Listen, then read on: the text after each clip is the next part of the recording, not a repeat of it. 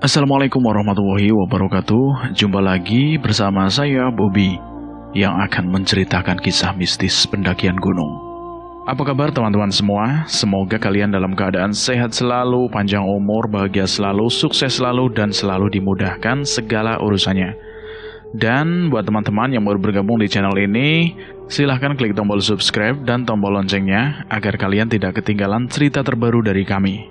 Dan pada kesempatan kali ini, saya akan menceritakan kisah mistis pendakian gunung yang berjudul Asmara Terlarang Gunung Halimun.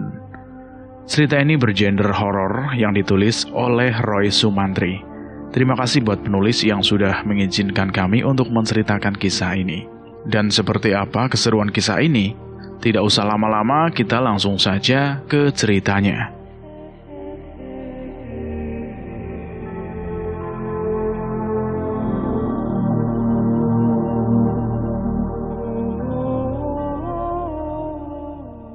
Sesuai kesepakatan libur akhir pekan, kami bertiga berencana mendaki sebuah gunung di daerah Bogor. Bulan Desember 2007, kisah ini terjadi. Kami bertiga berteman. Pertemanan kami berawal karena kami itu satu pekerjaan di sebuah kantor. Aku bekerja sebagai OB di sebuah gedung perkantoran di daerah Jakarta Pusat. Kedua temanku juga bekerja di tempat yang sama, Andi pemuda asli Cikarang bekerja sebagai sopir pribadi seorang staf di kantor. Sedangkan si Doni, asli Cibinong Bogor, bekerja sebagai satpam. Kedekatan kami bukan hanya bekerja di tempat yang sama, kos kami pun juga sama. Biar hemat biaya, kami bertiga ngekos nggak jauh dari tempat kami bekerja. Akhir pekan ini adalah libur panjang akhir tahun. Kami bertiga sepakat untuk naik Gunung Halimun Bogor. Hari yang ditentukan pun tiba, kami bergegas berangkat naik bis ke Bogor. Memang edan kalau akhir pekan itu, apalagi bertepatan dengan libur panjang. Jalur ke arah Bogor itu macetnya parah, macet bukan main. Mobil bis yang kami tumpangi merayap seperti keong. Sampai terminal Bogor hari sudah beranjak siang. Kami melanjutkan perjalanan dengan sebuah angkot. Sebenarnya kami bukan pecinta alam, dengan modal nekat, kami ingin rekreasi, ingin merasakan naik gunung. Kami hanya membawa bekal seadanya, tanpa tenda dan tanpa perlengkapan mendaki pada umumnya. Tak terasa angkot yang kami sewa sudah sampai pada tempat yang kami tuju, desa terakhir di bawah kaki Gunung Halimun. Setelah membayar ongkos sewa, kami bergegas melanjutkan perjalanan. Hari semakin beranjak, sampai di pos pendaftaran sudah sepi, kami bertiga menengok ke kanan ke kiri, mencari, barangkali ada petugas yang jaga, tapi tidak ada seorang pun yang nampak. Kami beristirahat 30 menit lamanya sambil menikmati kopi yang kami beli di desa terakhir. Asap rokok pun mengepul dari mulut kami sambil sesekali kami tertawa bercanda. Hari semakin gelap, tak ada orang pun yang nampak. Kami pun sepakat untuk melanjutkan perjalanan. Kami bergegas melangkah ingin merasakan suasana malam di puncak gunung. Baru juga tiga langkah kami melangkah. Entah dari mana datangnya, kini di hadapan kami itu berdiri sesosok nenek tua, agak bungkuk. Wajahnya tertutup rambutnya yang panjang memutih. Yah, terkesan menyeramkan. Bajunya panjang lusuh, tangannya memegang sebuah tongkat kayu hitam yang berbentuk aneh. Pada ke mana anak-anak muda? Nenek itu bertanya kepada kami. Bulu kuduku merinding. Sungguh aneh, bibir nenek tua itu tidak bergerak sedikit pun saat beliau bertanya kepada kami. Eh, mau mau naik gunung, Nek? Kami mau naik gunung. Nenek tua bungkuk itu memandang kami satu persatu. Tatapannya tajam dari balik rambut panjang putih yang menutupi wajahnya yang seram. Kemudian nenek tua itu kembali berkata, Jangan naik ke atas puncak malam ini, karena bahaya hanya akan mendapatkan musibah yang akan kalian dapatkan. Kami bertiga hanya saling pandang setelah mendengar perkataan dari nenek itu. Eh, gak akan, Nek. Gak akan. Kami laki-laki. Jawab Doni sambil mengajak untuk bergegas jalan. Tercium aroma bau wangi bunga kenanga begitu menyengat ketika kami melewati tubuh nenek tua bungkuk itu. Baru juga tiga langkah kami melewati nenek tua itu. Nenek itu berkata dari belakang, Anak muda sekarang memang susah kalau dibilangin. Nenek tua bungkuk itu kembali berbicara secara bersamaan kami menoleh ke arah belakang. Sungguh kami terkejut. Nenek bungkuk itu raib tanpa bekas. Kami terdiam membisu, tidak percaya dengan apa yang kami lihat. Loh, kok nggak ada ya? Ayo cepet naik, keburu tengah malam nanti. Suara Andi memecah kebisuan. Kami melanjutkan perjalanan. Aku di tengah, Andi di belakang, dan Doni di paling depan menjadi pemandu jalan. Kami memberi jarak sekitar 3 meter masing-masing untuk antisipasi kalau ada bahaya. Senter kecil menjadi alat pemandu kami di jalan setapak yang menanjak yang penuh semak-semak. Suara binatang malam riuh bernyanyi menambah suasana horor. Dua jam sudah lamanya kami berjalan, terdengar suara gemuruh air terjun. Andi memanggil kami untuk berhenti. Kami berembuk dan sepakat untuk istirahat di air terjun dan mengisi air minum, karena perbekalan air sudah menipis. Air terjun itu terdengar ke arah kiri di jalur yang kami lalui. Air terjun mulai nampak setelah 20 menit. Kami berjalan mencari sumber suara itu. Sungguh indah pemandangan air terjun yang tidak begitu tinggi itu. Di bawahnya seperti ada kolam tidak begitu besar, yang di sekelilingnya batu-batu besar nampak berjejer rapi. Subhanallah, maha besar engkau ya Allah dengan segala kuasanya. Kami begitu menikmati pemandangan air terjun tersebut. Tiba-tiba, kabut turun berbaris rapi diselingi dengan bau bunga melati. Terdengar merdu di gelapnya malam tembang Sunda yang membuat kami menoleh ke arah suara tembang itu. Tanpa kami sadari, sedari awal kami sampai ke tempat tersebut. Nampak duduk di pinggir kolam di atas batu paling besar. Sesosok gadis membelakangi kami. Kami bertiga saling pandang. Kami merasa heran, kenapa malam-malam ada seorang gadis sendirian di atas gunung. Gadis itu masih saja menembang. Suaranya lembut dan merdu, seakan tidak mengetahui kehadiran kami. Andi berbisik kepada kami, Don, itu demit apa manusia ya? Masa demit kakinya main di air dan kelihatan pula wujudnya? Ini zaman milenial, masih percaya tahayul. Gua dari kecil sampai segede gini nggak percaya demit. Oke dah, gua coba sapa. Ajak kenalan, siapa tahu dia jomblo. Lumayan lah buat jadi pacar. Haha. Kata si Andi sambil jalan mendekati gadis itu, yang masih saja bersenandung lirih. Kami berdua hanya bisa nyengir, karena di antara kami bertiga, Andi saja yang masih jomblo. Andi menyapa, gadis itu pun menghentikan senandungnya dan menoleh ke arah Andi. Subhanallah, kami pun dapat melihat parasnya. Wajahnya begitu cantik dan tersenyum manis. Setelah ngobrol basa-basi dengan Andi, gadis itu berkenalan namanya Sulastri. Gadis itu menceritakan kalau dia penduduk dari sebuah desa gak jauh dari air terjun tersebut. Dia juga bercerita kalau malam minggu sering ke air terjun itu mencari angin karena masih jomblo. Hidungku seperti mencium aroma melati dan bau bangkai. Ketika berkenalan denganku, tangan itu dingin seperti es. Hati gelisah, firasatku merasa ada yang tidak beres dengan gadis itu. Tapi hanya aku simpan dalam hatiku saja. Karena kalaupun aku ceritakan pada Doni, percuma Doni gak percaya hal mistis. Baginya hanyalah tahayul. Gadis itu mengajak kami singgah ke desanya, sejenak untuk istirahat. Aku ingin menolak, tapi Doni mencubit lenganku seraya berbisik. Eh, eh, gua lapar. Lumayan lah, ngopi gratis. Aku hanya tersenyum melihat tingkah Doni. Akhirnya kami pun sepakat untuk istirahat dulu di desanya Sulastri. Hatiku bimbang dan ragu, tapi apalah daya, kami sudah sepakat. Lestari berjalan di depan, kami mengekor di belakangnya. Kabut semakin pekat turun, sambil berjalan di belakang, aku berdoa memohon perlindungan yang kuasa. 15 menit kami sampai di sebuah pintu gapura desa. Iseng aku membaca nama yang tertulis di gapura tersebut. Sirna Raga, nama desa yang aneh pikirku. Jalan desa itu begitu tertata rapi.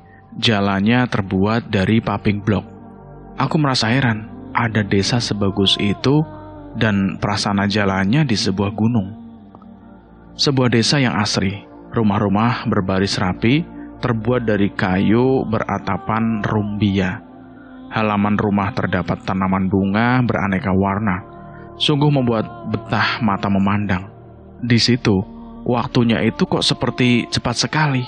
Padahal tadi waktu bertemu Sulastri di air terjun itu masih pukul 21.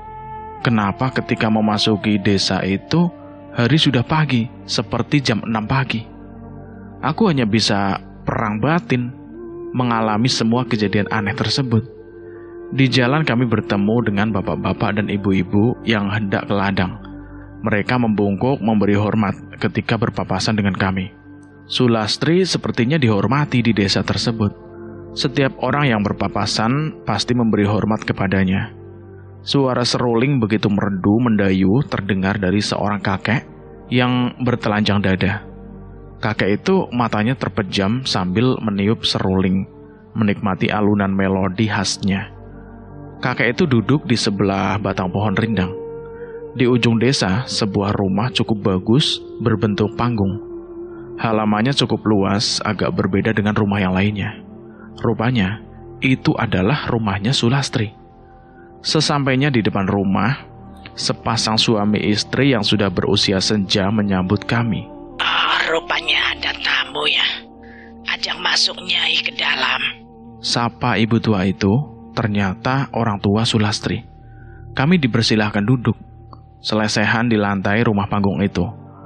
Aku perhatikan rumah panggung yang terbuat dari kayu tersebut diukir relief dindingnya begitu indah, seperti menceritakan sebuah gunung. Tapi ada yang janggal di penglihatan mataku. Bukan hanya relief bunga, binatang, gunung, dan tumbuhan saja gambarnya itu. Tapi di relief air terjun di antara batu besar, telaga, dan sosok yang menyeramkan. Sosok itu digambarkan wanita berambut panjang, tapi wajahnya seperti serigala bertaring, seperti memberi isyarat batinku semakin gelisah. Andi begitu asik dan akrab ngobrol dengan orang tua Sulastri. Mungkin dia sedang PDKT lah. Maklum, jombler, sari perhatian orang tua atau target. Sedangkan si Doni asik menghisap rokoknya sambil bersandar di tiang rumah tersebut. Entah apa yang sedang difikirkannya. Aku masih membisu, mencoba menenangkan perasaan. Kejadian-kejadian janggal dari awal mendaki sampai membuat aku gelisah. Suara dehem Sulastri membuatku kaget. Sulastri membawa nampan berisi dua gelas kopi dan segelas susu, dan sepiring besar ketela rebus. Aku heran dan semakin bingung. Kok Sulastri bisa tahu kalau aku kurang begitu suka kopi, dan dia buatkan susu putih? Ayo, lagi ngalamunin siapa sih, A? Dia menyapaku dengan senyuman dan lirikan mata yang penuh arti dan terasa aneh bagiku melihat Sulastri membawa kopi. Orang tua Sulastri mempersilahkan kami untuk mencicipi. Setelah itu orang tua Sulastri izin pamit. Mereka akan pergi ke ladang. Begitupun dengan Sulastri pamit masuk ke dalam hendak masak. Andi bergegas menyeruput kopi hitam dengan nikmatnya sambil nyengir ke arahku. Doni pun segera mengambil sepotong ketela rebusnya dan mengunyahnya dengan rakus. Mungkin karena lapar, aku meraih gelas yang berisi susu putih hangat. Sebelum meminumnya, aku membaca doa terlebih dahulu. Bismillah, subhanallah, walhamdulillah, wala ilaha illallah, wala hawla wala quwata illa billahil aliyyil adim. Belum juga gelas itu sampai di bibirku. Tiba-tiba, prak! Sungguh aneh kan? Gelas itu pecah sendiri. Aku bengong, bingung. Gak ada hujan, gak ada angin. Kenapa gelas susu itu hendak aku minum pecah sendiri? Andi dan Doni tertawa menyaksikan kejadian itu. Mereka bilang, apes, bukan rizkiku. Aku tersenyum kecut mendengar ocehan mereka. Aku mengelap tumpahan susu di kaos oblongku dengan handuk kecilku. Tiba-tiba rasa ngantuk menyerangku. Mataku terasa sulit untuk dibuka. Aku pun rebahan di atas lantai kayu rumah panggung itu yang beralaskan tikar. Samar tercium bau bangkai menusuk hidungku. Lalu aku nggak ingat apa-apa lagi. Aku sekarang berdiri seperti di sebuah tempat yang aku kenal. Aku mengingat di mana aku berada. Oh ya, ternyata aku berdiri di dekat air terjun di awal jumpa dengan Sulasti. Gemuruh air terjun terdengar jelas. Aku menengok ke kanan ke kiri, mencari Andi dan Doni. Ke mana mereka? Kenapa aku berjalan seorang diri di jalan setapak menuju air terjun? Kabut begitu pekat, seperti menghalangi jarak pandangku. Aku melangkah dengan sejuta tanya di kepalaku. Aku berhenti seperti ada langkah yang mengikutiku dari arah belakang, jarak sekitar 3 meteran. Aku memanggil Andi dan Doni. Don, Andi, jangan bercanda kalian lah. Aku memanggil-manggil Doni dan Andi sambil menoleh ke belakang. Namun aneh, tidak ada seorang pun dari mereka. Yang terlihat hanya kosong dan semak di kanan kirinya. Kok nggak ada siapa-siapa ya? Lalu siapa yang tadi sepertinya mengikutiku? Aku semakin bingung. Sesekali tercium bau aroma pandan dan diselingi bau bangkai dari semilirnya angin gunung ini. Aku lalu melanjutkan langkahku. Mataku pejamkan sejenak. Hatiku berdoa memohon perlindungan yang kuasa. Tiba-tiba terdengar suara. Refleks, aku menoleh ke arah sumber suara tersebut. Dan, astagfirullahaladzim, aku berteriak refleks karena kaget. Aku melompat ke depan tiga langkah. Di hadapanku, berdiri sosok menyeramkan. Sesosok wanita berwajah serigala. Terpasang gigi taring mencuat panjang dan tajam dari sela bibirnya. Tubuhku gemeteran. Keringat dingin mulai membasahi tubuhku. Jantungku terasa nano-nano, mau copot. Makhluk itu menatapku tajam. Sedetik kemudian, sosok menyeramkan itu melompat ke arahku. Aku kaget dan aku segera melompat lari sekencang-kencangnya, tanpa menghiraukan apa pun. Aku berlari menuju ke arah air terjun dan secepat kilat sembunyi di antara batu besar. Aku membekap mulutku sendiri menahan suara nafasku yang ngos-ngosan itu. Cukup lama aku sembunyi. Tiba-tiba terdengar suara orang sedang mandi dan bercengkrama di dalam telaga.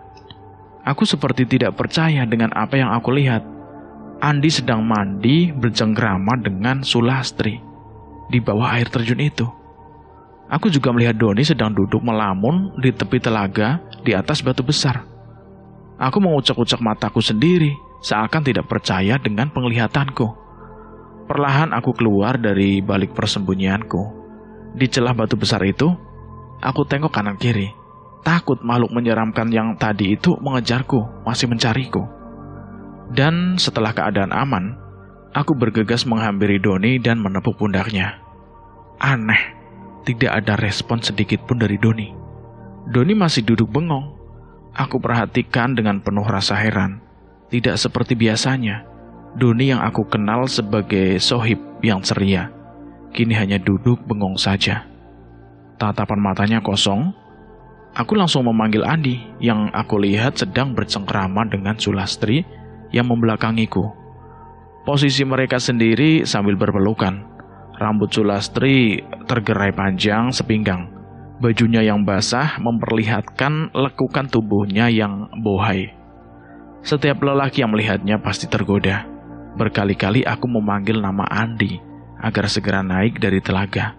Namun Andi sepertinya tidak mendengar. Malah berpelukan semakin hot dengan Sulastri.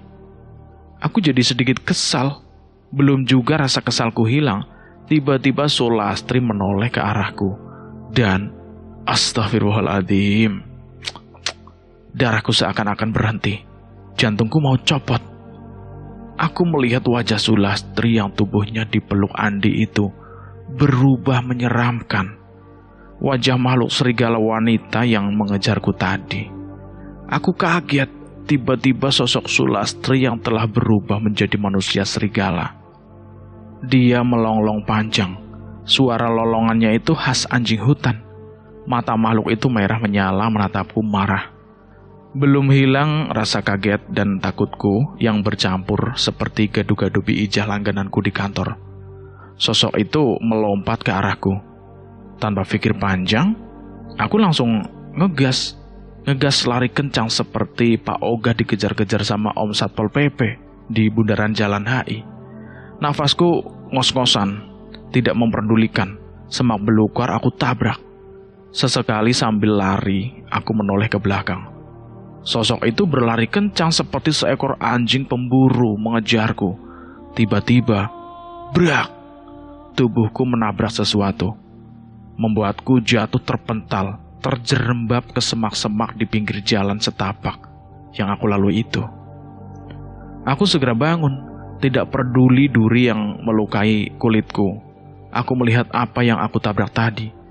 Ternyata yang aku tabrak tadi adalah seorang kakek-kakek berbaju putih model bertapa seperti di film-film silat itu. Kakek tua itu tersenyum kepada aku. Aku segera bangun, lalu aku meminta maaf kepada beliau. Terdengar suara geraman dari sosok wanita serigala berwujud asli Sulastri itu yang mengejarku. Tubuhku gemeteran. Aku menoleh ke arah belakang. Sosok Sulastri berdiri di belakangku jarak sekitar 3 meteran. Matanya menyala merah penuh dengan amarah. Di situ aku ketakutan. Ketika hendak bergegas lari, kakek tua itu menahanku sejenak. Beliau berbisik di ujung jalan yang aku lalui ada sebuah sumur. Aku disarankan masuk ke sumur itu jika ingin selamat dari kejaran sosok wanita serigala Sulastri. Aku mengangguk, lalu melihat ke arah Sulastri. Ketika aku menoleh kembali ke arah kakek tua itu, sungguh aneh. Kakek tua berbaju putih itu sudah raib, hilang tanpa bekas. Tiba-tiba sosok serigala itu melompat ke arahku. Tanpa menghiraukan rasa kagetku dengan hilangnya kakek tua itu, aku berlari sekencang-kencangnya. Wanita suliman serigala Sulastri itu semakin mendekat. Nafasku memburu kecapean. Pada saat genting, Aku melihat sebuah lubang sangat dalam di sebelah kananku. Mungkin lubang ini yang dimaksud kakek tua tadi. Wanita siluman serigala itu melompat ke arahku. Tanpa pikir panjang, aku melompat ke lubang itu. Lubang yang dalam tersebut. Aku berteriak sambil terjun bebas. Aku kaget, seperti ada yang memercikan air ke wajahku. Mataku terbuka perlahan. Terdengar suara orang banyak. Pertama, mataku terbuka aku melihat seorang bapak tua berpakaian serba hitam, memakai ikat kepala batik. Di tangannya memegang segelas air. Syukurlah, kamu sudah sadar nak. Ucap bapak itu. Aku merasa heran dengan ucapan bapak tua tersebut. Kualihkan pandanganku ke sekeliling. Aku bingung, kenapa aku kini ada di ruangan sebuah rumah dan ada banyak orang yang tidak ku kenali. Perlahan bapak tua dan seorang bapak lainnya membantu aku untuk duduk. Tubuhku terasa lemas, sendi-sendiku terasa nyeri dan ngilu. Aduh, saya di mana ini? Ucapan pertama yang keluar dari mulutku. Aku masih bingung dengan semua apa yang kualami ini. Tenang, Jang. Sampean aman di sini. Ucap bapak tua yang tadi memberiku minum segelas air putih yang mungkin sudah dijampi-jampi. Aku menengok ke kanan, ke kiri, mencari keberadaan Andi dan Doni. Bapak yang berpakaian perangkat desa yang duduk di sebelah bapak tua yang tadi memberikan aku air putih itu bertanya, Kamu berasal dari kota mana? Uh, saya dari Jakarta, Pak. Kalian naik muncak Gunung Halimun ya? Berapa orang rombongannya? Uh, kami bertiga, Pak. Tepatnya muncak kapan, nak? Saya muncaknya pas tanggal 12 November, Pak, hari Sabtu. Orang-orang yang mendengar penjelasanku pada melongo, menatapku tidak percaya. Pegawai desa yang menulis semua keteranganku pada sebuah buku. Terdiam menatapku seakan tidak percaya. 12 November 2007. Yang benar saja, Jang. Iya, Pak. Benar. Aku merogoh saku celanaku dan mengeluarkan tiket bis yang kami tumbangi. Di tiket tersebut tertulis Jakarta Bogor. 13 November 2007. Seakan tidak percaya, pegawai desa itu menerima dan melihat hari tanggal yang tertera pada tiket tersebut. Berarti kamu sudah 41 hari di Gunung Halimun. Ucap perangkat desa itu. Membuat aku dan warga yang mendengar pada melongo heran, campur tidak percaya. Aku bertanya, gimana keadaan kedua temanku pada pak pegawai desa tersebut. Mari nak, ikut saya. Pegawai desa itu, atau disebut kadus, itu mengajakku ke rumah sebelah. Aku melihat Andi tak sadarkan diri. Tubuhnya terbaring, matanya melotot. Di sebelahnya ada kain jarik yang menutup rapat sosok seseorang. Kuatkan hatimu ya nak. Pak Kadus membuka kain jarik yang menutupi rapi jasad tersebut. Astagfirullahaladzim. Ketika kain jarik itu dibuka, membuatku tidak percaya Terbujur kaku tubuh Doni temanku dengan keadaan yang mengenaskan. Matanya melotot, lidahnya menjulur, ada luka di lehernya seperti gigitan binatang buas. Sungguh tragis musibah yang menimpa Doni. Dia harus meninggal di usia muda. Kinata, sesepuh kampung di kaki Gunung Halimun, bapak tua berpakaian hitam-hitam memakai ikat kepala batik yang tadi memberiku air jambi-jambi, mendekati ke arah Andi. Dia belum sadarkan diri, matanya melotot, pandangannya kosong. Pak Kadus bertanya padaku, apakah mereka teman-temanku? Iya, aku mengangguk, mengiyakan. Kinata membakar dupa sambil membaca mantra, berbahasa Sunda. Asap dupa membumbung memenuhi ruangan dengan harum khasnya. Tiba-tiba Andi bangkit, duduk Matanya liar menatap Kinata. Andi tiba-tiba melongo seperti anjing hutan. Suara Andi membuat bulu kuduku berdiri. Matanya merah, berkilatan menatap Kinata dan sekelilingnya. Mau apa kamu? Ikut campur urusanku? Bentak Andi, suaranya serak dan berat. Ini pengantin saya. Kamu jangan ganggu saya, Nata. Ampun, Nyai. Hampura, nuhun. Anak ini nggak salah, Nyai. Sudah. Kamu sudah ikut campur urusanku. Apakah kamu mau anak perawan kamu kubawa ke istanaku? Makhluk yang merasuki tubuh Andi itu mengancam Kinata. Kinata nampak ketakutan. Begitupun warga yang mendengar bergidik ketakutan. Menurut warga, aku ditemukan pingsan tak jauh dari telaga.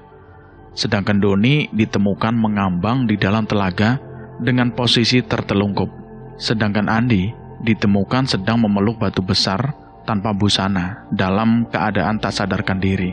Matanya melotot.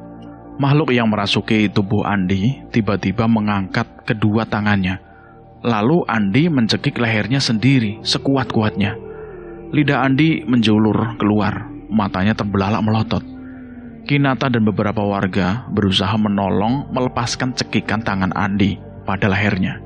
Sungguh aneh sekali digerakkan tangan Andi. Tubuh Kinata dan beberapa warga terpental jauh, ambruk, brak. Tiba-tiba terdengar suara tulang patah. Krak, krak, krak, Leher Andi seperti dibatek oleh tangannya sendiri. Andi pun akhirnya meninggal dengan leher patah, lidah menjulur. Aku sangat terpukul menyaksikan jasad kedua temanku ini. Kini temanku terbujur kaku di hadapanku. Pak Kadus dan warga bermusyawarah untuk mencapai kesepakatan denganku. Dan atas persetujuan Pak Lurah, jasad Doni dan Andi dimakamkan di desa itu. Karena hari sudah sore. Mereka kasihan, apalagi jasad Doni yang sudah mulai membengkak dan menimbulkan bau yang tidak sedap. Hari itu terpaksa aku bermalam di rumah Pak Kadus. Prosesi pemakaman kedua jasad temanku itu selesai pukul 5 sore. Warga kembali ke rumahnya masing-masing. Ketika hendak pulang dari pemakaman desa, tak sengaja mataku melihat sebuah makam tanpa nisan, terletak terpencil sendiri di bawah pohon bambu. Makam itu seperti tidak terawat, nampak rumput liar tumbuh menutupi gundukan tanah tersebut. Ketika melihat makam itu, perasaanku tidak enak. Seperti sekelebat, aku melihat Sulastri di antara rimbunnya pohon bambu. Ah, Mungkin itu halusinasiku saja. Aku berpikir sambil berjalan beriringan dengan Pak Kadus. Malam ini aku disarankan warga untuk nginap di rumah Pak Kadus dan esok baru kembali ke Jakarta. Kabut mulai turun menyelimuti desa dari Gunung Halimun. Setelah sholat maghrib, aku dan Pak Kadus membaca yasin dan tahlil buat kedua temanku. Dilanjut sholat isya. Kami ngobrol sebentar setelah makan malam. Pak Kadus memberikan sebuah surat keterangan dari desa tentang perihal kematian kedua temanku untuk diserahkan ke keluarganya Andi dan Doni. Setelah ngobrol ngalor ngidul sebentar, Pak Kadus izin pamit untuk istirahat karena capek seharian mengurus hal-hal dan proses pemakaman kedua temanku. Sepeninggal Pak Kadus, aku duduk termenung sambil kuhisap rokok kretek dalam-dalam. Pikiranku menerawang jauh mengingat-ingat dari awal pendakian ada kesalahan apa yang dilakukan Doni dan Andi di gunung itu. Tiba-tiba terdengar suara lolongan anjing hutan. Suara itu seperti mendekat dan seperti berputar-putar mengelilingi rumah Pak Kadus. Bulu kuduku meremang. Tiba-tiba seperti ada suara yang sangat aku kenal, memanggilku dari luar rumah. Aku bergidik, suara orang wanita. Aku memperjelas telingaku akan suara itu Iya, ternyata benar. Itu suara Sulastri yang memanggil-manggil namaku. Belum juga hilang rasa kaget dan takutku. Tiba-tiba saja, brak! Pintu rumah terbuka lebar. Angin berputar-putar berhembus masuk, membawa aroma pandan dan bau busuk. Sekelebat bayangan putih melayang masuk ke dalam rumah. Tiba-tiba lampu listrik padam. Cerak! Pintu kembali tertutup. Dak! Dengan keras, seperti dibanting marah. Tapi sungguh aneh, Pak Kadus, istri dan anaknya tidak ada yang bangun, tidak ada yang mendengar suara keras pintu dibanting itu. Mereka masih terlelap di kamarnya. Berdiri tegak jarak 3 meter di hadapanku, kini Sulastri. Wajahnya sangat pucat, tatapannya kosong. Tolong aku. Terdengar suaranya seperti kesakitan dan pilu meminta tolong kepada aku. Aku hanya melongo, tubuhku gemeteran. Ingin aku berlari dan teriak sekencang-kencangnya. Sungguh aneh, bibirku terasa terkunci. Tubuhku kaku tidak bisa bergerak. Tolong sempurnakan aku. Tangis Sulastri meminta tolong. Siapa sebenarnya Sulastri ini? Beribu-ribu tanya di pikiranku. Tak mampu aku jawab. Tiba-tiba Sulastri mendekat.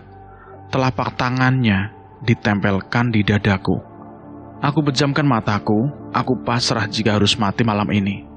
Di desa orang yang jauh dari kampung halamanku, aku berpikiran, Sulastri akan merobek dadaku dan mengeluarkan jantungku. Lalu melahapku di depan mataku. Terasa dingin seperti es ketika telapak tangan tersebut menyentuh dadaku yang sispek.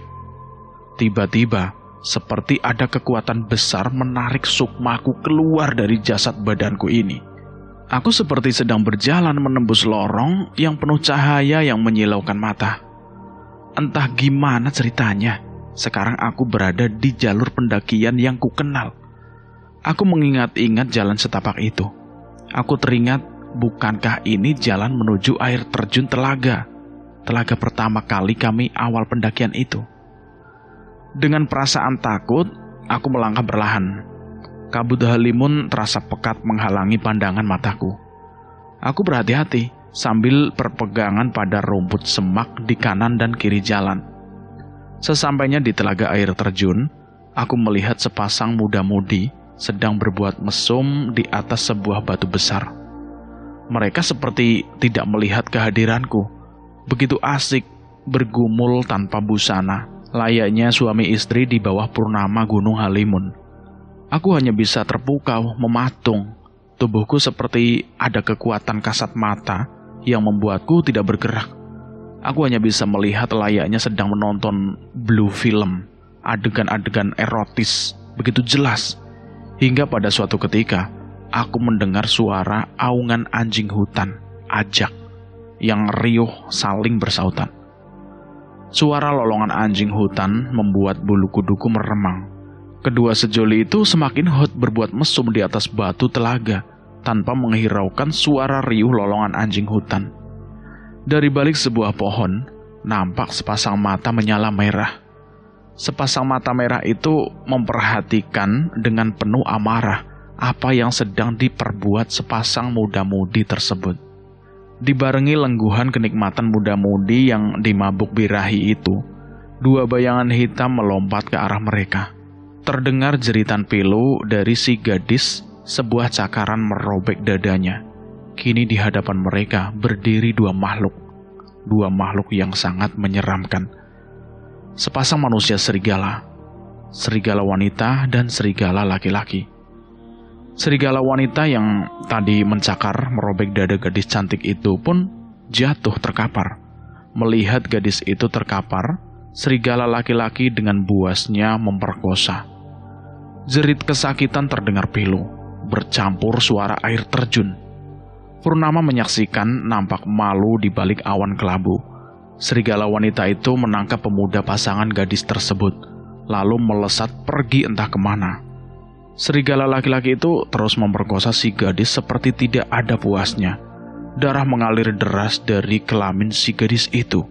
Matanya melotot, di tubuhnya penuh luka gigitan dan cakaran kuku tajam yang merobek kulit halusnya. Sambil melolong panjang, serigala laki-laki itu puas, lalu menggigit leher si gadis itu, menghisapnya.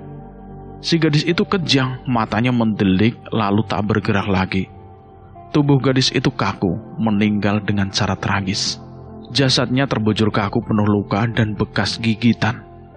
Tanpa sehelai benang pun, setelah puas, manusia serigala laki-laki itu melesat pergi hilang di telan gelapnya kabut malam Gunung Halimun. Aku terduduk lemas di atas batu, menyaksikan setiap kejadian dengan penuh perasaan ngeri. Tapi anehnya, dua makhluk manusia serigala itu seakan tidak melihat keberadaanku yang hanya berjarak 5 meter dari TKP. Suara tangisan membuatku kaget. Aku menoleh ke arah kananku, aku melihat Sulastri berdiri sambil menangis pilu. Tiba-tiba, Sulastri berbicara kepadaku dengan tatapan kosong. Itu adalah aku, Kang. Kesalahan yang kami perbuat di Gunung Halimun ini. Coba kamu jelaskan secara detail. Mungkin aku bisa membantumu. Tolong, Kang. Carikan kalung.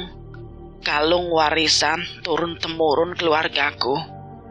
Kalung itu putus, jatuh di dalam telaga. Kalung itu berbandul batu safir biru. Baiklah, tapi kalau sudah ketemu kalung itu gimana? Akang tolong antarkan pada kedua orang tuaku. Sulastri menyebut sebuah komplek perumahan elit di Jakarta Timur. Aku mengangguk setuju. Dan tolong juga ketemukan jasad kekasihku Bram yang dibawa pergi Nyai Sungging. Nyai Sungging? Iya, Kang siluman serigala Gunung Halimun yang terkadang sering menyerupai diriku. Siapa sebenarnya Sulastri? Sulastri seorang gadis ayu, masih keturunan ningrat dari jalur ibunya. Masih keturunan keraton Hadiningrat. Ayahnya seorang pejabat pemerintah di Jakarta. Sulastri masih kuliah di sebuah PTN bergengsi di Jakarta. Sulastri mempunyai seorang kekasih bernama Bram, pemuda playboy, anak orang tajir. Bram juga kuliah di PTN yang mana hanya beda jurusan. Entah mengapa Sulastri bisa kepicut sama Bram, playboy yang suka gonta-ganti wanita. Banyak korban dari Bram, sesama siswa, dosen wanita juga istri orang. Sebenarnya selain kuliah Bram juga seorang gigolo untuk para istri orang-orang berduit tebal. Selain ganteng dan tajir, Bram menggaet korbannya dengan gendam ilmu hitam. Bram berguru ilmu pelet di sebuah kota kecil di kota Kabupaten Karawang, Jawa Barat. Sepuluh tahun yang lalu, Sulastri berbohong kepada kedua orang tuanya bahwa akhir pekan dia akan PKL dari PTN-nya di luar kota. Tanpa curiga, kedua orang tuanya memberi izin. Padahal akal-akalan Bram yang menyeting Sulastri untuk membuat alasan. Padahal ada niat busuk dari Bram. Bramantio nama aslinya. Dani sahabat Bram semenjak taruhan 10 juta kalau Bram bisa meniduri Sulastri. Mahasiswi baru di PTN, tempat mereka kuliah. Hari yang ditentukan pun tiba. Sulastri berangkat ke terminal untuk naik bis diantar oleh dua orang tuanya. Orang tua Sulastri tidak tahu kalau Bram sudah ada di bis yang ditumpangi oleh Sulastri. Tanpa sepengetahuan orang tua Sulastri, mereka berencana muncak ke Gunung Halimun. Bis meluncur cepat ke arah Bogor. Sampai di terminal Bogor, mereka berganti kendaraan naik mobil elf menuju desa terakhir. Mereka muncak ke Halimun hanya berdua saja. Semua itu rencana busuk Bramantio untuk bisa meniduri dan merenggut kesucian Sulastri untuk memenangkan uang taruhan 10 juta dengan Dani. Sore pada asar mereka sampai. Setelah lapor ke pos pendaftaran, mereka bergegas naik.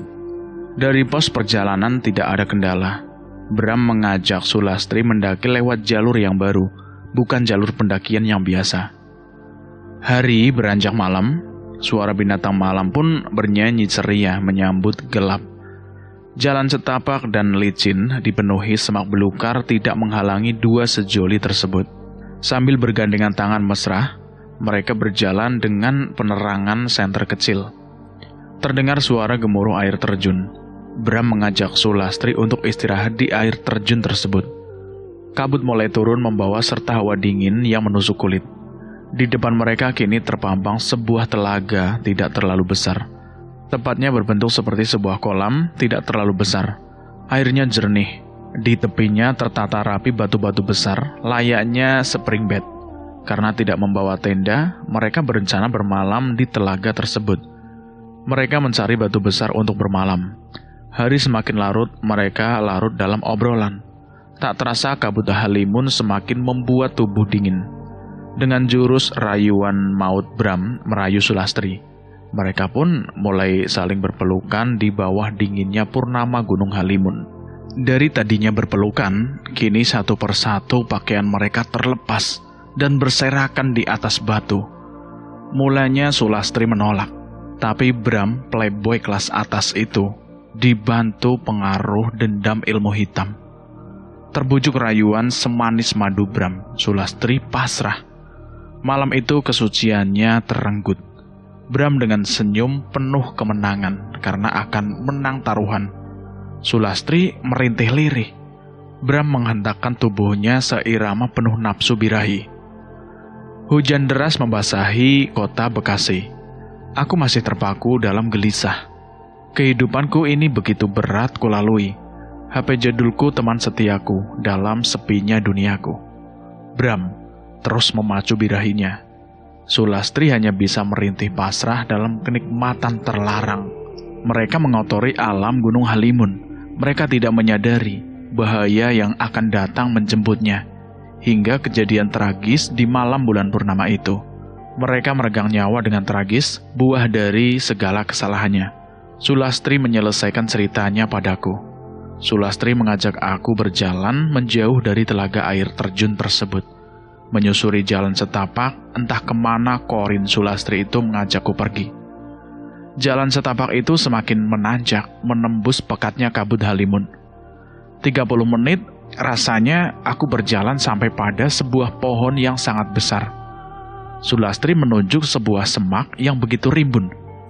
Sulastri menjelaskan, itu goa gerbang goib menuju perkampungan siluman serigala awal kami bertiga pertama kali di bawah Sulastri, Desa Sirnaraga. Sulastri menjelaskan kalau jasad Bram, kekasihnya, ada di dalam gua tersebut. Tiba-tiba Sulastri ketakutan. Aku heran kenapa Sulastri begitu ketakutan. Aku pun menoleh ke arah kiri kanan, ke arah pohon besar. Aku kaget. Di bawah pohon besar itu ada sosok Sulastri juga, menatap marah. Aku jadi bingung, kok Sulastri jadi ada dua? Yang satu yang membimbingku ke tempat itu, kini berada di sebelah kananku. Dengan ketakutan Sulastri yang tadi bersamaku, berbisik menjelaskan, kalau sosok yang berdiri di bawah pohon besar itu adalah sosok siluman serigala yang menyerupai dirinya. Aku memandang lekat ke arah Sulastri yang berdiri di bawah pohon.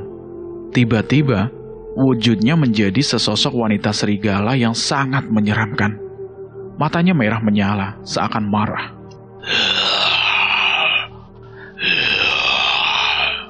Aungan suara lolongan panjang dari mulut siluman serigala tersebut. Tubuhku gemeteran. Begitupun tangan Korin Sulastri yang memegang erat tanganku. Terasa nyes, dingin seperti salju. Belum juga rasa takutku hilang. Tiba-tiba ada sebuah bayangan hitam muncul mendekat dari kegelapan malam. Matanya merah menyala. Kini berdiri sesosok siluman serigala laki-laki yang menyeramkan. Bulu-bulunya kasar, memenuhi dadanya. Taring tajamnya besar mencuat dari sela bibirnya. Matanya merah menyala. Suaranya menyeramkan, dihiasi lolongan panjang, memecah keheningan malam Gunung Halimun. Aku pun melangkah mundur, firasatku tidak enak. Benar saja, baru aku mundur satu langkah, siluman serigala itu melompat garang ke arahku. Aku tergagap mendapat serangan ganas bertubi-tubi dari serigala laki-laki itu. Aku melompat menghindari terjangan kuku tajam yang mencakar ke arahku. Mungkin ini akhir hidupku, gumam hati kecilku. Aku berdesak ke arah mulut goa. Belum juga aku menghela nafas, siluman serigala wanita juga melompat garang menyambar ke arah perutku. Aku kaget melompat ke belakang, namun sialnya pijakanku goyah Aku terjatuh karena menginjak sebuah benda. Tapi karena terjatuh, perutku selamat dari cakaran kuku-kuku tajam siluman serigala wanita itu. Aku bangkit dari jatuhku. Aku melihat apa yang aku injak tadi yang membuatku jatuh. Astaga, ternyata sebuah kerangka tengkorak manusia. Aku kini berada di dalam gua yang pengap Bau anyir tercium dari udara pengap ruangan gua itu. Aku menengok kiri kanan mencari Korin Sulastri yang tadi, yang tadi bersamaku. Entah ke mana raibnya Korin itu. Tubuhku terasa ngilu, mungkin bekas jatuh tadi terantuk batu goa. Tiba-tiba suasana ruangan goa itu menjadi terang benerang. Aku heran, kini aku berada di sebuah desa yang pertama kami memasuki bersama Doni dan Andi ketika awal berjumpa Sulastri. Terpampang di gapura ujung pintu masuk desa Sirnaraga. Hatiku membatin, mungkin inilah perkampungan siluman serigala yang tadi diceritakan oleh Korin Sulastri. Bau bunga setaman dan pandan begitu menyengat hidung. Berbeda pertama kali aku datangi dahulu, warga desa seperti memperhatikanku Wujud mereka sungguh mengerikan, berbeda dengan yang aku temui dulu. Tua muda, wujud mereka kini siluman manusia serigala. Aku dengan rasa takut melangkah perlahan sambil tengok kiri kanan. Takut tiba-tiba mereka menerkamku dan pesta pora mencabik-cabik tubuhku dan memakanku hidup-hidup. Tapi aneh, mereka itu hanya memperhatikan aku saja. Seperti ada magnet yang kuat aku seperti melangkah menuju rumah panggung di ujung desa.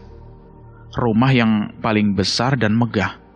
Benar saja, langkah kakiku seperti dituntun kekuatan kasat mata ke rumah panggung besar itu.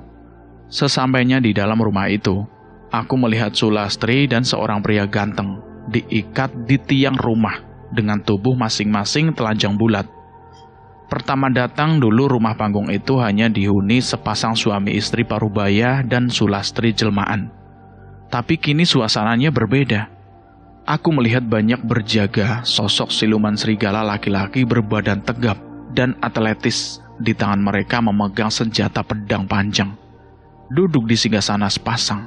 Sepasang siluman serigala duduk di sebuah bangku seperti singgasana siluman serigala wanita dan laki-laki yang tadi menyerangku di depan gua itu. Dia mengaung. Siluman serigala wanita melolong panjang. Matanya tajam menatap ke arahku sambil menunjuk ke arah utara rumah panggung tersebut. Astaga, aku melihat Andi dan Doni. Tangan mereka terikat menggantung di sebuah tiang besar. Aku terkesima melihat pemandangan mengerikan itu. Tubuh kedua sahabatku telanjang bulat. Banyak luka seperti sayatan dan gigitan lebar yang ada di tubuh mereka. Ya Allah, mengapa begitu tragis nasib yang mereka alami? Punya nyali juga kau datang kembali ke sini, anak muda. Aku menyadari ini bukan alam manusia, tapi alam siluman. Aku juga bingung, kenapa Sukmaku bisa kembali ke sini diajak oleh Korin Sulastri yang meminta tolong kepadaku. Tolong, tolong, sakit, perih, tolong kami. Doni dan Andi teriak pilu. Mata mereka memelas meminta pertolongan kepadaku. Jujur, aku bingung dengan semua kejadian yang kami alami ini. Aku tertunduk, tidak tega melihat kedua temanku dalam ratapan pilu kesakitan. Setelah itu, siluman serigala laki-laki bangkit dari duduknya, lalu berjalan ke arah Sulastri yang terikat di tiang besar dalam keadaan bugil. Kau ingin menyelamatkan gadis ini, anak muda? Ucap serigala laki-laki itu, sambil lidahnya menjulur, menjilati tubuh bugil Sulastri yang penuh luka, cabikan, dan gigitan. Sulastri merintih kesakitan. Tubuhnya dipenuhi air liur kental makhluk serigala itu. Aku semakin ngeri ketika melihat makhluk serigala itu menggigit dan melahap buah dada sebelah kiri.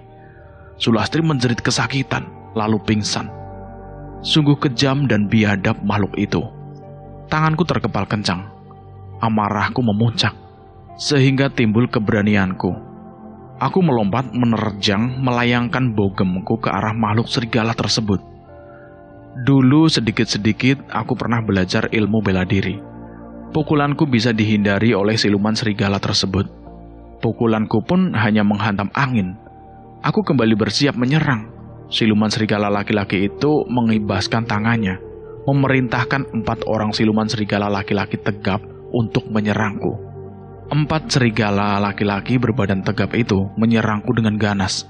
Cakaran kuku tajam mereka seakan ingin merobek, menggoyah anggota tubuhku. Aku kewalahan menangkis serangan mereka. Ilmu bela diri yang aku pelajari dulu cukup berguna. Pada suatu kesempatan, tendangan kakiku berhasil membuat terjungkal dua makhluk serigala tersebut. Kedua temannya pun marah. Mereka mencabut pedang panjang berbentuk aneh dari sarangnya. Sambaran dan sabetan pedang mereka begitu cepat seperti angin memotong dan menguliti tubuhku. Aku cukup kewalahan, juga jurus-jurus tangan kosongku. Kalah dengan panjangnya pedang makhluk dua itu. Aku hanya bisa menghindar sabetan pedang mereka. Aku melompat ke kanan ke kiri, terkadang menjatuhkan tubuhku ke tanah. Keringat dingin mulai membasahi tubuhku. Mataku melihat liar ke sekeliling, mencari celah untuk kabur. Aku tidak mau mati konyol di alam siluman serigala ini. Pada satu kesempatan, seorang siluman serigala melompat sambil menghunuskan pedang tajamnya. Aku menghindar menjatuhkan diri ke tanah sambil menendang ke atas. Jeritan pilu terdengar dari siluman serigala yang menyerangku. Tendangan kakiku berhasil mendarat sukses di jantungnya siluman serigala itu jatuh ambruk. Blak. Melihat tiga temannya jatuh terkapar, seorang siluman serigala mundur selangkah. Melihat kesempatan itu, aku segera bangkit dan melompat pakai jurus langkah seribu. Lari sekencang-kencangnya dari tempat itu. Aku ngos-ngosan berlari ke jalan di mana pertama aku masuk ke desa siluman tersebut. Suara riuh lolongan serigala bersautan. Ketika aku menoleh ke belakang, Puluhan siluman serigala mengejarku marah. Mereka mengejarku sambil mengacung-acungkan pedang tajam mereka. Aku terus berlari kencang. Pikiranku kacau. Aku berlari sekencang-kencangnya, sekencang sekuat tenaga, tanpa menghiraukan para siluman serigala yang mengejarku itu. Tiba-tiba, blak! Aku seperti menabrak sesuatu. Aku jatuh terpental, terjerembab ke tanah. Aku segera bangun sambil pandanganku menoleh ke arah belakang. Dan anehnya, para siluman serigala yang mengejarku itu semua berhenti. Mereka berdiri seperti ketakutan melihat sesuatu. Aku merasa bingung. Aku pun segera bangun dari jatuhku dan berbalik arah badanku. Astaga, jantungku seakan mau copot. Bibirku mangap, mataku melotot tidak berkedip. Tubuhku kaku tidak bergerak. Kedua kakiku pun gemetar. Di depanku, hanya berjarak 50 cm, berdiri gagah seekor macan putih super besar, sebesar sapi. Degup jantungku terpacu kencang seirama seperti mau perang. Mata macan putih itu biru menatap ke arah kedua bola mataku. Tatapannya begitu tajam seperti menusuk jantungku. Macan itu hanya diam saja menatapku lekat-lekat. Mungkin dia jatuh cinta pada pandangan pertama. Terdengar lembut suara seorang pria memanggil ke arah macan putih itu. Putih, mundurlah sedikit. Kamu menakuti Aden itu. Suaranya begitu lembut, tapi berwibawa. Aku celingak-celinguk menengok ke arah suara itu. Tapi aneh, aku nggak juga menemukan orangnya. Hati kecilku bertanya, mungkinkah yang berbicara pada macan putih itu seorang malaikat? Aku semakin bingung. Nyari siapa, Den? Suara lembut itu seperti berbisik di telinga kananku. Aku kaget, hampir saja melompat. Entah dari mana datangnya. Di samping kananku telah berdiri seorang kakek tua berpakaian serba putih, seperti seorang bertapa. Orang tua itu tersenyum ke arahku. Aku memperhatikan kakek tua itu. Gaya berpakaiannya, aku ingat-ingat. Oh iya, aku ingat kakek tua ini yang dulu menolongku dari kejaran siluman serigala wanita yang menyuruhku lompat ke sebuah lubang seperti sumur. Siapa sebenarnya beliau? Kenapa para siluman serigala yang mengejarku itu takut kepadanya? Lalu, apakah macan putih itu sahabatnya? Macan putih itu seperti patuh pada ucapannya. Kakek tua itu lalu tersenyum, seraya berkata, Kita bertemu lagi ya, Den. Aku hanya mengangguk, mengiyakan saja ucapan dari kakek itu. Kakek tua itu tersenyum, seraya berkata, Kita bertemu lagi ya, Den. Aku mengangguk, mengiyakan saja. Aku masih bingung siapa kakek tua ini. Pertanyaan itu masih berkecamuk dalam pikiranku. Aku yang wali kudrot sakti, Den. Biasa orang menyebutku seperti itu. Rasanya sangat aneh. Kakek tua itu seperti bisa membaca isi pikiranku. Aku hanya bisa terbengong, melongo. Tiba-tiba terdengar suara lolongan panjang serigala. Dua bayangan hitam melesat ke arahku. Hawa panas menderu menghantam. Dak! Belum juga rasa kagetku itu hilang. Terdengar suara jeritan pilu kesakitan. Bak! Suara benda jatuh menghantam tanah. Aku hampir tidak percaya. Dua bayangan hitam yang tadi melayang ke arah kami ternyata pemimpin siluman serigala kedua makhluk serigala itu terkapar mengerang kesakitan. Kodrat Sakti, kenapa kau ikut campur urusanku? Ucap siluman serigala wanita itu sambil memegangi dadanya. Kedua pemimpin serigala suami istri itu segera bangkit. Matanya merah menyala penuh amarah. Maaf Aki dan Nyai. Aku tidak bermaksud ikut campur urusan bangsa siluman seperti kalian. Tapi aku dapat titah untuk melindungi Aden ini selama dia ada di Gunung Halimun. Kakek tua itu berbicara menjelaskan. Siluman serigala laki-laki itu memerintahkan para prajuritnya menyerang kakek tua berbaju putih itu. Suara rolongan serigala bersautan berbarengan dengan lompatan para prajurit serigala menyerang. Berbarengan dengan itu, macan putih pun melompat sambil mengaum menyambut serangan para prajurit siluman serigala. Pertarungan sengit terjadi, macan putih mengamuk garang. Banyak para prajurit siluman serigala yang menjadi korbannya. Sungguh aneh, sabetan pedang tajam para prajurit siluman serigala seakan tidak mampu merobek tubuh macan putih besar itu. Macan putih tersebut menyerang ganas. Terkaman dan cakarannya merobek tubuh dan wajah prajurit siluman serigala itu. Jeritan pilu kesakitan terdengar riuh. Melihat prajuritnya banyak yang jatuh tumbang, Pasangan suami istri siluman serigala itu nampak sangat marah. Mereka melompat bersamaan menyerang kakek tua wali kodrat sakti itu. Yang sedari tadi berdiri menyaksikan sahabatnya bertarung, sang macan putih yang sedang menghadapi siluman serigala. Hawa panas menderu menyerang.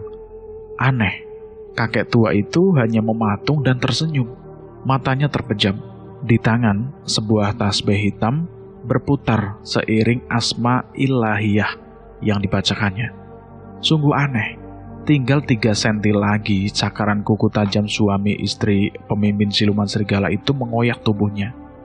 Namun aneh, kedua siluman serigala itu terpental, seperti ada dinding kasat mata yang membatasi tubuh kakek tua itu. Siluman serigala itu jatuh terjerembab ke tanah, dibarengi jeritan kesakitan. Tubuh mereka terguling di tanah sambil kedua tangannya menutupi telinga. Ah, ampun kodrat sakti.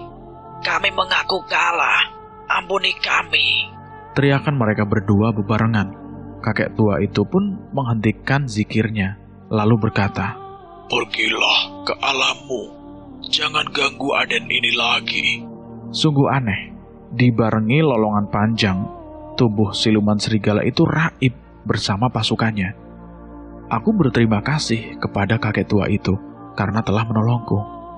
Kakek tua itu mengangguk, lalu berkata agar aku segera meninggalkan tempat itu. Kakek tua itu menyuruhku naik ke atas macan putih sahabatnya itu. Macan putih itu lalu melompat menembus gelapnya malam. Seperkian detik, rasanya kini aku sudah sampai di depan rumah Pak Kadus. Setelah mengucapkan terima kasih, macan putih itu hilang, bersatu dengan kabut halimun. Aku masuk ke dalam rumah. Aku melihat tubuhku masih duduk di kursi rotan. Terdengar di telingaku, bibirku sedang membaca zikir. La ilaha illallah. Aku berjalan mendekati tubuhku. Perlahan, aku berusaha masuk. Tapi aneh, gak bisa seperti terhalang tembok tidak kasat mata. Pikiranku mulai kacau Mungkinkah aku sudah mati? Perasaan takut mulai berkecamuk di otakku. Ya Allah, mungkinkah aku jadi setan gentayangan jika tidak bisa kembali lagi ke jasadku? Air bening mulai menggenangi kelopak mataku. Aku belum siap jika harus mati saat ini. Di usia yang masih sangat muda, aku belum menikah dan belum punya keturunan. Aku jatuh terduduk lemas di samping jasadku yang masih diam dan bergerak duduk di kursi rotan. Aku memperhatikan seksama jasadku, seperti tidak bernafas, hanya terdengar dikir la ilaha illallah, lirih seperti orang yang bergumam. Tiba-tiba, terdengar suara lembut kakek tua di telinga kananku. Suaranya seperti aku kenal. Aku mengingat-ingat, suara siapa itu? Suara tanpa wujud yang berbisik lembut, seperti hembusan angin senja. Aku ingat, suara itu suara kakek kodrat sakti. Den, bacalah sahadatin, lanjut basmalah tujuh kali, dan solawat Nabi sembilan kali. Perintah suara itu membimbingku. Aku menuruti semua yang diperintahkan suara tanpa wujud itu. Sungguh ajaib, seperti ada kekuatan sangat besar menyedotku ke dalam jasadku. Perlahan mataku terbuka. Alhamdulillah wa syukurillah. Kakiku terasa kesemutan, ngilu seperti habis berjalan sangat jauh. Aku bangun dari dudukku, berdiri membatek pinggangku yang terasa pegel. Aku lirik ke arah jam dinding. Jam dinding itu menunjukkan pukul 03 pagi. Subhanallah, Berarti aku berkelana di alam jin sudah enam jam lamanya. Aku kembali duduk menyeruput kopiku yang sudah dingin sisa semalam. Aku merenungi mengingat kejadian di alam siluman itu. Amanah yang diminta Sulastri agar aku mencari kalung warisan keluarganya yang terjatuh di dalam telaga, serta mencari jasad Bram di dalam goa, lalu menguburkan sebagaimana layaknya. Aku juga harus menyelamatkan Sukma kedua temanku, serta membebaskan Sukma Sulastri dan Bram dari cengkraman siluman serigala Gunung Halimun. Tanpa kusadari, aku terlelap tidur. Aku bermimpi Kami masih bertiga menyusuri jalan setapak yang tertutup oleh kabut gelap. Tapi formasinya aneh, tak seperti awal kami mendaki. Kini aku berjalan paling belakang. Tiba-tiba, terdengar teriakan Doni dan Andi di depanku. Tolong! Tolong! Mereka berteriak. Aku memanggil mereka berdua. Pandanganku terhalang kabut yang begitu pekat. Tubuhku tiba-tiba terhenti seperti ada tangan yang memegang tubuhku agar aku menghentikan langkahku. Tangan itu mencengkram erat bahuku. Astagfirullah. Aku kaget, melompat dari kursi rotanku. Rupanya, aku tertidur pulas dari jam 3 pagi tadi dan bermimpi serem. Pak Kadus membangunkanku karena menurut beliau, aku mengigau memanggil nama kedua almarhum temanku, Doni dan Andi yang sore kemarin dimakamkan. Pak Kadus menyuruhku segera mandi dilanjut sarapan. Selesai sarapan, Pak Kadus menginterogasi tentang mimpiku. Aku pun menceritakan semua dari awal aku dibawa Korin Sulastri mencari jasad kekasihnya Bram.